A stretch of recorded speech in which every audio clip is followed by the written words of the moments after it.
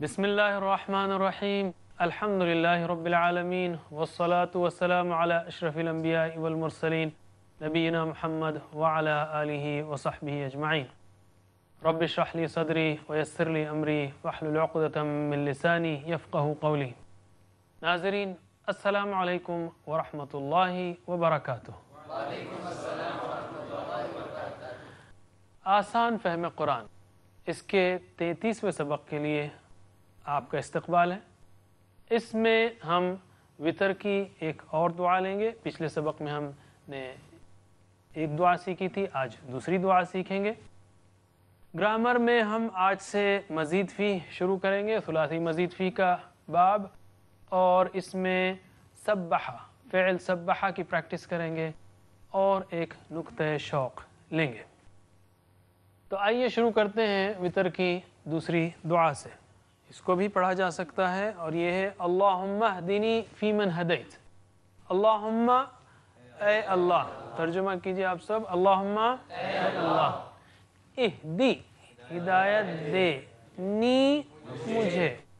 اہدنا ہمیں ہدایت دے۔ اہدی ہدایت دے۔ نی مجھے۔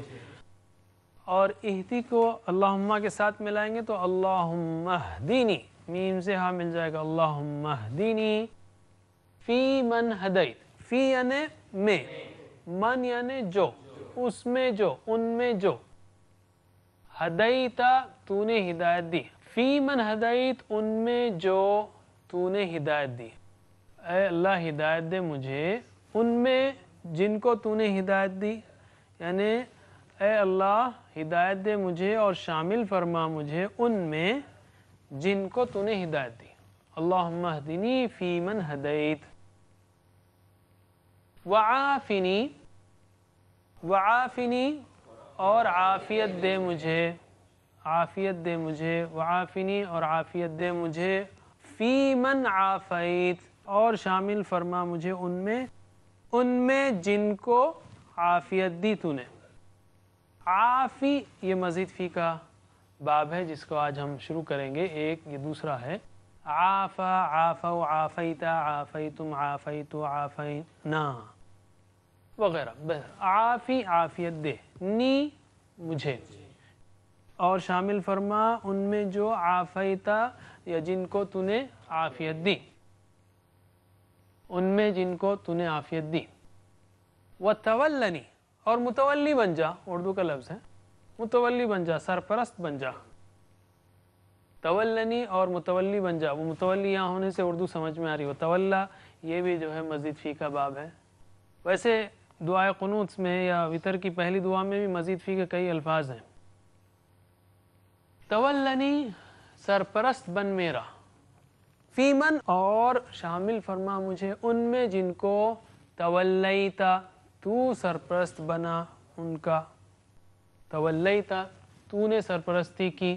تولیتا، تو نے سرپرستی کی۔ وہ تولنی فیمن تولیت، اور سرپرست بن میرا۔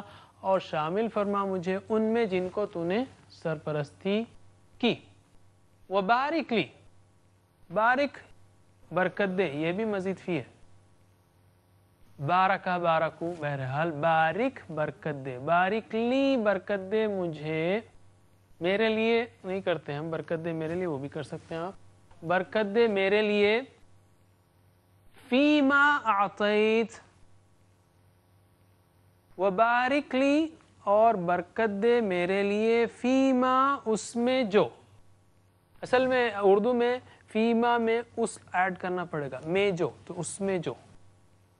کئی جگہ آئے گا آپ، فیمن ان میں جو، فیما اس میں جو، قرآن میں کئی جگہ ہوگا ہے تو اس جو ہے لگائیں گے تو اردو کا رواں ترجمہ آسانی سے ہو جائے گا۔ اور برکت دے اس میں جو، فیما اعطیتا تو نے عطا کیا۔ اور برکت دے میرے لیے اس میں جو بھی تو نے عطا کیا۔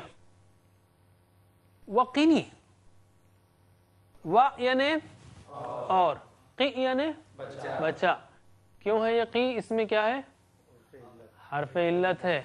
وقا بچایا۔ وقا وقا وقیتا، وقیتم، وقیتو، وقینا۔ ہم نے اس سے پہلے دیکھا، ذکر کیا تھا میں نے، ویسے قالا اور کانا کا ہم نے کیا، زادہ کا کیا۔ اور امر میں ہم نے دیکھا حرف علت ڈر کے بھاگ جاتا ہے۔ یہاں پر دو دو حرف علت کمزور حرف ہے، بیمار حرف ہے۔ ٹھہر نہیں سکتا حکم میں، اس لیے چلا جاتا ہے۔ وقع یعنی وہ، اس نے بچایا۔ وقا وقع وقیتا وقیتم وقیت وقینا یقی یقونا تقی تقونا عقی نقی. قی. واو اور قاف دونوں چلے گئے. قی یعنی بچا وا اور قی یعنی بچا ترجمہ کیجیے وا اور قی بچا نی مجھے. وقینی اور بچا مجھے. شر. شر سے ما قضیت. ما جو قضیتا.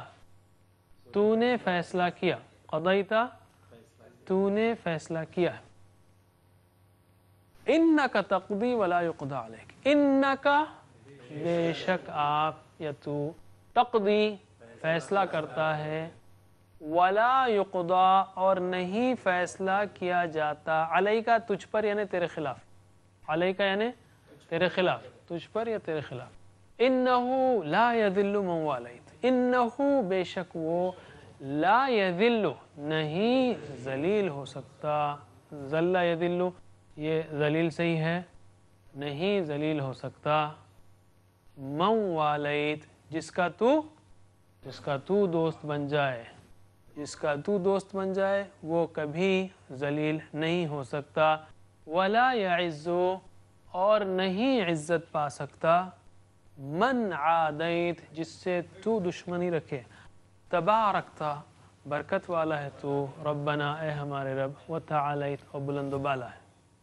تو اس میں پانچ سوال اور پانچ صفات ہیں صفات جملوں کے انداز میں بیان ہوئی ہیں۔ اس میں بعض پہلو جو اگر کچھ تشریح چاہتے ہیں تو ہم کہیں گے، اللہم اہدنی فی من ہدیت، یہ تو بالکل صاف ہے۔ ہم اللہ تعالیٰ سے ہدایت کا سوال کر رہے ہیں۔ عافنی عافیت کا سوال کر رہے ہیں۔ عافنی فی من عاف ہدایت، عافیت، سرپرستی اور برکت۔ ہدایت، عافیت، سرپرستی اور برکت۔ اور آخر میں شر سے حفاظت۔ یہاں پر وقینی شر ماقدیت اور بچا مجھے شر سے ان فیصلوں کے جو تو نے کیے ہیں۔ کیا اللہ تعالیٰ برے فیصلے کرتا ہے؟ استغفر اللہ یہ بات نہیں ہے۔ یہ جملے کا مطلب نہیں ہے۔ اللہ تعالیٰ کا ہر فیصلہ ہمارے لیے آزمائش ہے۔ اس لیے کہ اس نے کہا، اس نے پیدا ہی ہم کو کیا لیا بلوکم تاکہ تمہیں آزمائے۔ اگر انسان اس فیصلے میں کامیاب ہوتا ہے، تو الحمدللہ، ناکام ہوتا ہے، تو وہ اس فیصلے کا شر ہے ہمارے لیے۔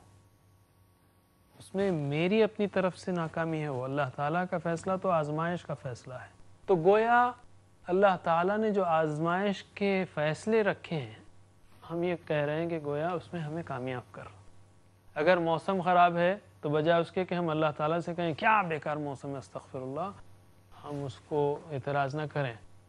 ہم ہمیشہ کہیں، سبحان ربی العظیم، سبحان ربی اللہ پاک ہے۔ جو تو نے دیا وہ آزمائش ہے اس آزمائش میں مجھے کامیاب ہونے کی توفیق دے۔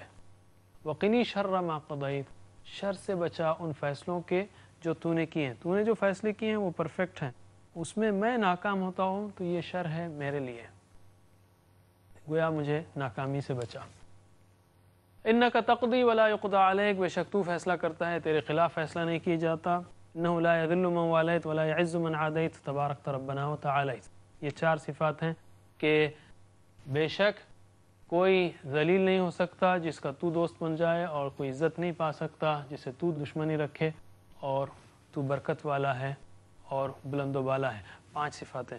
تبارک ربنا و تعالی۔ تو برکت والا ہے اور بلند ہے۔ پانچ صفات۔ پانچ باتیں ہیں، پانچ سوالات ہیں، پانچ صفات ہیں۔ تو میں گزارش کروں گا ہمارے قاری عمران خان سے کہ وہ آئیں اور آپ کو اس دعا کی پریکٹس کرائیں۔